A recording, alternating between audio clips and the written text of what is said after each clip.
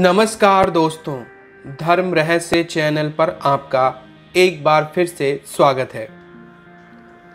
दीपावली नज़दीक आ रही है। ऐसे अवसर पर माता लक्ष्मी को प्रसन्न करने के लिए विभिन्न प्रकार की साधनाएँ की जाती हैं। लेकिन माँ को प्रसन्न करना इतना आसान नहीं होता है। लेकिन अगर इसी की जगह हम उनकी कुछ सहायक सेविका शक्तियों को प्रसन्न कर लें तो हम अपने भाग्य में परिवर्तन ला सकते हैं। तो ऐसी ही एक साधना है, कमला यक्षिणी की साधना, जिनकी साधना कभी खाली नहीं जाती है। साधना भंग भी हो जाए तो भी व्यक्ति को धन लाभ प्राप्त होता ही है। तो क्या है यह साधना और कौन है यह यक्षिणी? इनकी सारी जानकारी आज मैं आपको दूँगा। साथ ही इनकी विधिवत तरीके से कैसे साधना करनी है और दीपावली की रात को कैसे इस साधना को समाप्त करना है, इसका लिंक मैंने अपने इंस्टा मोजो अकाउंट में डाल दिया है। और आप यह साधना अवश्य करें, क्योंकि यह साधना धन प्राप्ति के लिए बहुत अधिक उत्तम साधना मानी जाती है। और अगर आपने इस देवी को संपूर्णता से सिद्ध कर लिया तो आप स्वयं कुबेर के समान धनी बन सकते हैं। यह एक अनुभूत साधना है और जिन लोगों को करवाई गई है, उन्हें भी विशेष लाभ प्राप्त हुआ है। स्वयं मैं भी इससे लाभान्वित हो चुका हूँ। तो इस साधना के लिए सबसे पहले आपको कमला यक्षिणी को जानना होगा। आखिर यह है कौन? एक बार जब भगवान विष्णु माता लक्ष्मी के साथ में क्षीर सागर में आपस में बातें कर रहे थे, तभी वहाँ परेशान यक्षों की एक पूरी जाति उपस्थित हुई। उन्होंने कहा कि, हे प्रभु, आपके कारण सारे जगत का पालन होता है। किंतु यक्ष लोक अपनी सारी धन संपदा छिन जाने से बहुत अधिक परेशान हो चुका है। और राक्षसों ने हमारा सारा धन और जितना भी संपत्ति का पूरा हिस्सा था, वह सब पाताल लोक खींच ले गए हैं। इस वजह से अब हम किसी लायक नहीं रहे हैं। आप अपनी कृपा हम पर बरसाइए और हमें कोई मार्ग दिखाइए। तब भगवान विष्णु ने माता लक्ष्मी को मुस्कुराते हुए कहा, यह तो आपका विषय है। यक्षों को धन देना आपकी ज़िम्मेदारी है। तब माता लक्ष्मी ने कहा, मैं तो आपकी सेवा में रहती हूँ। भला मैं आपको छोड़कर क्यों जाऊँगी?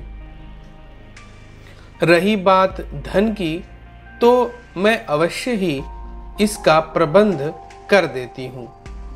तब माता लक्ष्मी ने अपने अंश से एक देवी को प्रकट किया और वह देवी सामने एक कमल के आसन पर विराजमान होकर साक्षात प्रकट हुई। उसने कहा, हे माता, आपने मुझे क्यों उत्पन्न किया है?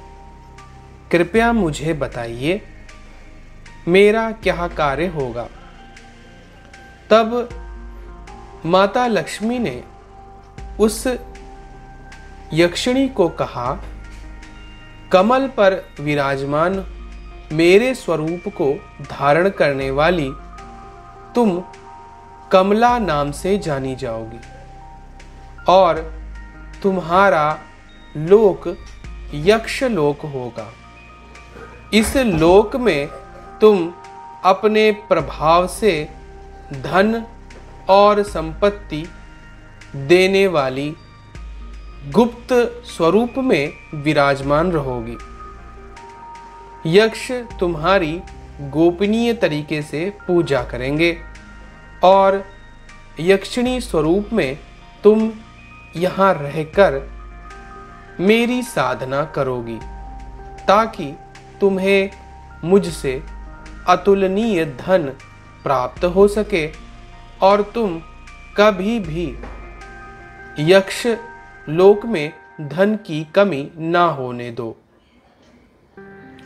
इस प्रकार से जब माता ने कमला यक्षिणी को उसके कर्तव्य समझाए तो वह कमला यक्षिणी कुबेर के साथ यक्ष लोक चली गई।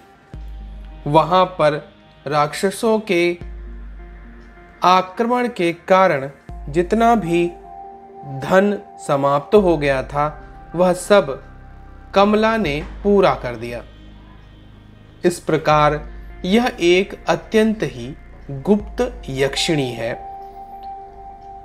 इसकी साधना करके आप भी यक्ष लोक के समान अपने जीवन में अतुलनीय धन को प्राप्त कर सकते हो। किंतु कुछ सावधानी इसमें बरतने की बहुत अधिक आवश्यकता है।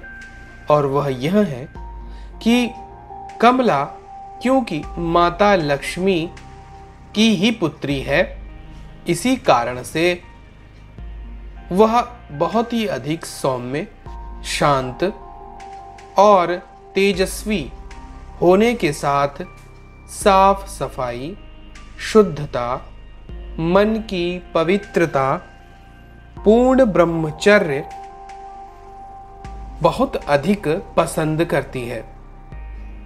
इसलिए अगर आप इनकी साधना करने की सोच रहे हैं तो आपको मन, वचन, कर्म से पूर्णतः पवित्र रहना होगा। अगर आप इनकी साधना में, इनमें से किसी भी नियम को तोड़ते हैं तो फिर आपको इनकी सिद्धि प्राप्त नहीं होती है और आपका प्रयास असफल हो जाता है। इसलिए मन, वचन, कर्म, जिस स्थान पर आप इनकी पूजा करते हैं, वहाँ चारों तरफ़ फूल ही फूल लटका दीजिए। वहाँ पर फूलों की सुगंध के सेंट भी छिड़क दीजिए, ताकि कमला यक्षिणी के आने में कोई रुकावट ना आए, और जब आपके अंदर वह शुद्धता और आपके घर और आसपास पूर्ण शुद्धता, सफ़ाई इत्यादि को देखेंगी तो निश्चित रूप से वह प्रसन्न होती है। और फिर आपको वह धन के विभिन्न स्रोत प्रदान करती हैं। यह तो केवल साधारण पूजा में करने मात्र से हो जाता है। लेकिन अगर व्यक्ति ने इनकी तांत्रिक पूजा संपूर्णता से कंप्लीट कर ली और सभी नियमों का अच्छी तरह पालन कर कोई गलती नहीं की तो यह देवी आपके साक्षात सामने प्रकट होकर आपसे अपना रिश्ता बना लेती हैं। यह आपकी माता, बहन, प्रेमिका, पत्नी या फिर जिस भी संबंध में आप इनको बांधेंगे, वह बंधकर आपके साथ जीवन भर संगिनी बनकर रहेंगी। और ऐसा व्यक्ति स्वयं कुबेर होता है। यानी वह धन के मामले में संसार में उससे ज़्यादा अधिक शक्तिशाली कोई हो ही नहीं सकता है।